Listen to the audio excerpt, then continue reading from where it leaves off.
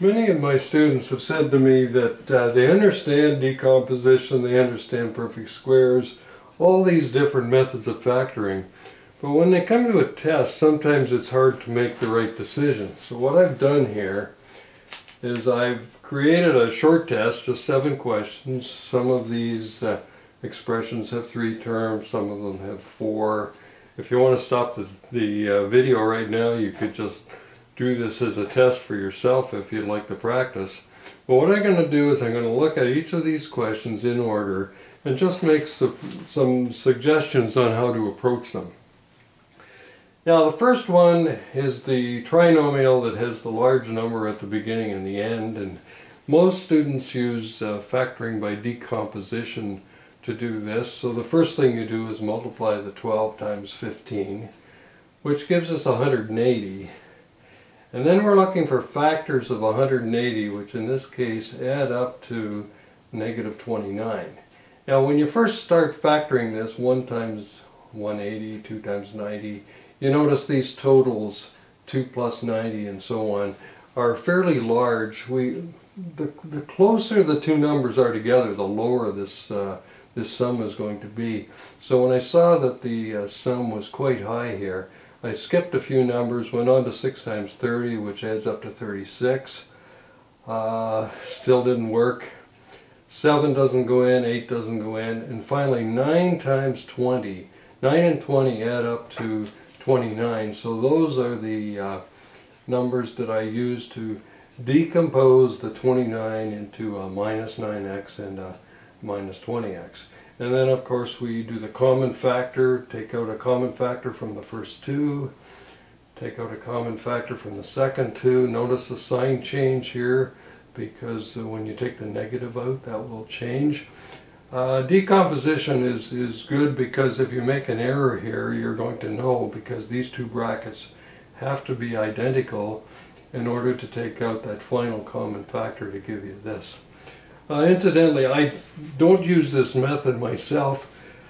In one of my other videos, I talk about the crisscross method where I list the factors of 12 and 15, and I and I just look for factors in here that'll that'll give me this.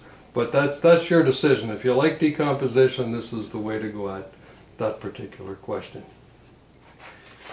Now the second one looks like maybe we'll have to use decomposition, but if you're if you can spot perfect squares, for example, 16 is a perfect square, 4 times 4, 49 is a perfect square, 7 times 7, 4 times 7 is 28. If that product is half of this number, then we have a perfect square. Uh, just because these are perfect squares on the end here doesn't mean that the question was made up as a perfect square, but this is a fast way to check. 4 times 7, if it's half of this, then those two factors are identical. 4 times 4 is the 16, and there's the 7 times 7 is 49, and the two, the outer and the inner, give us that negative 56. Uh, again, this one looks like it's going to be decomposition again, but always look for a common factor. All three of these are divisible by 3. Once you take that 3 out, this is a fairly easy question to factor. Factors of 24 that add up to 10 are 6 and 4, and that can be done fairly easily. So make sure you look for a common factor first, and also be very aware of the perfect squares. Now when you get four terms, um, it could be it's, it's grouping, but it could be either 2 and 2 or 3 and 1, and I'll show you different examples of this. Now, when you first look at this, you can't take a common factor out of the first two, so I just changed the order. It really doesn't matter how you change the order. Um, as long as you can get a common factor out of each pair here. See, I took a 4 out of the first pair, took a W out of the second pair. Now, I'm I've still got a bit of a problem here. You see, this is x minus y, this is y minus x. So I have to make a sign change here, turn that into x minus y, which means I have a sign change out in front. Now I can take the x minus y out as a common factor, uh, leaving 4 minus w.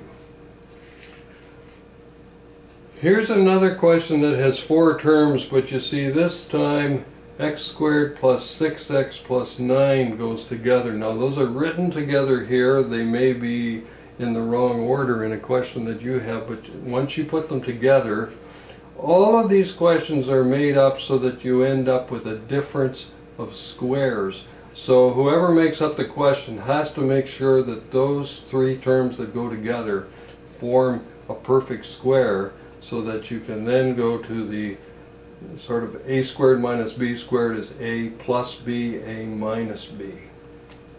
And then when I take those uh, interior brackets off, this is what we've got. Here's another question that's got four terms, but you notice there's a, an x squared term, a 10x, and a 25. I'd like those together. I put them last after the w squared because of the minus sign in front of the x squared. I don't want that at the beginning of this question. Now the next thing I have to do is get rid of that minus sign from, from this part of it. So I factor out the negative, which leads to sign changes here. And as I said before, this always has to be a perfect square, otherwise this isn't going to factor. You want to end up with a squared minus b squared which leads to a plus b, a minus b. Now this time because the, the bracketed term comes second, you've got to watch when you remove the brackets.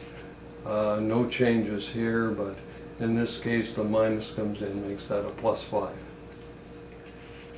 Uh, the last one is what we call a difference of squares. These are easy to spot because they're exactly what it says, a difference of perfect squares. Uh, 4x squared times 4x squared gives you 16x to the fourth. Plus 9y squared times minus 9y squared gives you negative 81y to the fourth.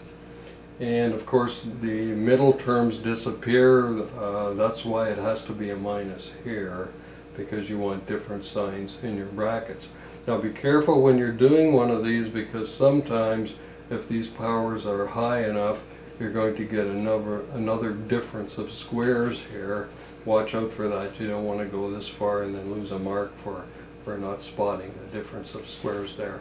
So I, I hope this helps make you decisions when you come to your factoring, factoring tests.